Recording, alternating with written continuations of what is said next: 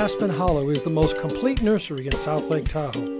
We are enthusiastic about what works in Lake Tahoe yards with a fabulous array of native plants, trees, shrubs, organic soils and fertilizers, as well as garden furniture, water features, stone and boulders, and unique accessories all in one place.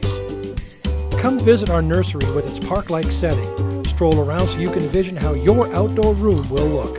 And let Aspen Hollow help you transform your yard into a mountain garden dream.